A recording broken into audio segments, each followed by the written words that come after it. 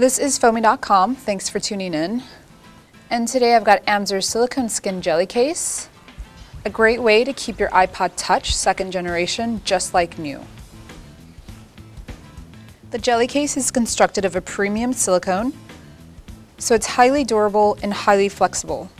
You can stretch and pull all you want, the silicone bounces right back to its original shape.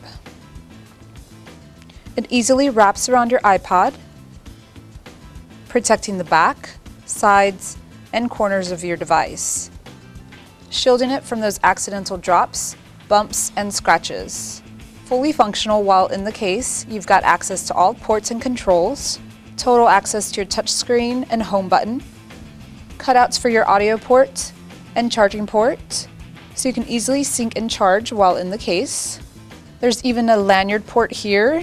Just loop through your favorite neck or wrist lanyard for an iPod that's on the go. Your sleep button and volume controls remain covered by raised silicone as an added protective measure.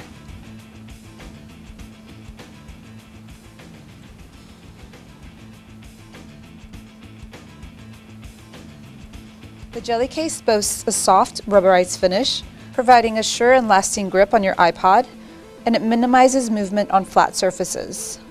The durable silicone absorbs and dissipates shock your iPod may receive from accidental drops and bumps, keeping it in tip-top shape. And it keeps it safe when you slide it into your pocket or bag. And the jelly case is available in 10 eye-catching and vibrant colors. So bottom line, if you're looking for a highly effective, low-key way to protect your iPod, then consider Amzer's silicone skin jelly case for the Apple iPod Touch second generation. Get yours today at fommy.com.